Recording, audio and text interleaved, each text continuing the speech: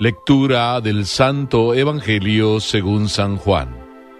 A la hora de pasar de este mundo al Padre, Jesús dijo a sus discípulos, Ahora me voy al que me envió y ninguno de ustedes me pregunta, ¿a dónde vas? Pero al decirles esto, ustedes se han entristecido. Sin embargo, les digo la verdad, les conviene que yo me vaya, porque si no me voy, el Paráclito no vendrá a ustedes, pero si me voy, se lo enviaré. Y cuando Él venga, probará al mundo dónde está el pecado, dónde está la justicia y cuál es el juicio.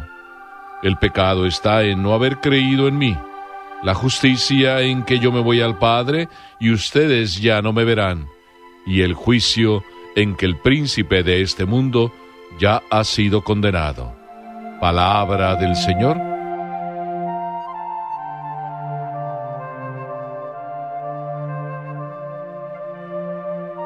Mientras estaba leyendo este Evangelio, me acordé de aquella experiencia un poco triste y quizá un poquito desagradable. Pero la verdad es que detrás de esa experiencia caí en la cuenta de la maravilla que es el Espíritu Santo actuando, el Espíritu Santo en acción. ¿Y qué fue lo que experimenté?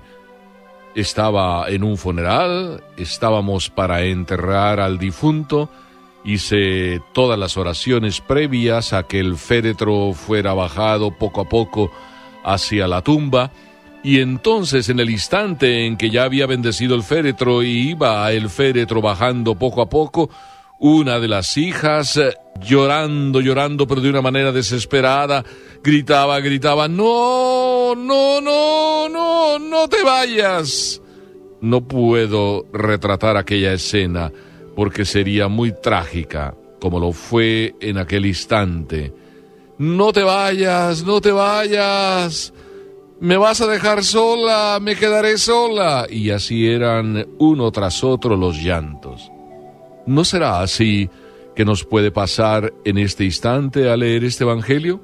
¿No será que Jesús también de alguna manera nos hace ese reclamo? ¿Tú quizá quieres llorar porque Jesús se va? Jesús está hablando a la hora de pasar de este mundo al Padre. Está precisamente en el momento de la despedida y está queriéndonos decir cómo nos debiéramos comportar en esa despedida de Jesús. Y a veces nosotros, como dice Jesús, preguntamos a dónde vas. No, no preguntamos a dónde vas. Cuando alguien muere, más bien preguntamos, ¿por qué te vas? No me dejes sola. Pero Jesús dice, no se entristezcan. Y con esto ya Jesús está diciéndonos el primer mensaje de este Evangelio. Es decir, conviene que Él se vaya. El momento en que Jesús se va, Viene el otro, el otro momento, el momento de la experiencia de la alegría. De hecho, la resurrección de Jesús, eso es lo que nos revela. En todos los momentos que se aparece siempre dice, ¡Ea, alégrense! Y venimos repitiendo esa expresión en todo este periodo. ¡Aleluya, aleluya! Jesús está, después de la resurrección, enseñando a sus discípulos que la presencia de Él para que vivamos la alegría no es necesaria, sobre todo si se trata de la presencia física. Jesús viene enseñándonos que conviene que Él se vaya para que vivamos la mayor de las alegrías, la presencia del Espíritu Santo en nuestras vidas. Eso es lo que el Espíritu Santo nos trae, la alegría de la ausencia física de Jesús, pero de la presencia íntima, profunda, esa presencia del amor de Jesús, esa presencia del Espíritu Santo que va permeando todo nuestro corazón y nos va haciendo vivir el verdadero motivo de la vida, el amor por dentro, el amor que caldea nuestras almas, el amor que permea y da sentido a cada una de nuestras vidas, ese amor profundo. Qué hermoso que hagamos esta experiencia, que no andemos buscando que Jesús esté físicamente presente, que no nos dejemos llevar por una alegría de sentimientos, una alegría de superficie. Vivamos la alegría profunda de la Pascua y esa Pascua que perdure toda la vida. Ay Jesús, cuánto nos alegra que nos digas que conviene que te vayas para que nos puedas enviar al Espíritu Santo la presencia y la fuerza de la alegría, de la Pascua, de la resurrección. Pero además Jesús dice, conviene que yo me vaya. Y dice por qué. Para que el Espíritu Santo venga y pruebe la situación de pecado, además eh, se realice toda justicia y finalmente una tercera realidad, el juicio, donde queda derrotado el príncipe de este mundo. Así es de que la primera realidad, Jesús se va y viene el Espíritu Santo a decirnos que el que cree, ese vive la alegría, y el que no cree, en eso está su pecado. Hay muchas manifestaciones de la presencia de Dios. No solo Jesús resucitó, sino sigue también en la vida de cada uno de nosotros, trayéndonos vida y resurrección en una serie indefinida de manifestaciones. Cada uno de ustedes sabe cómo Jesús en la vida de ustedes va apareciéndose, cómo Jesús les da vida. Y si nosotros, que tantas manifestaciones tenemos, no creemos, entonces el Espíritu Santo nos acusa ese es el pecado. No creer cuando todo está tan claro, cuando tantas manifestaciones nos da Dios, cuando tantos milagros ocurren en nuestra vida. No creer, eso es lo peor. Pero además, conviene que cada uno esté en su lugar.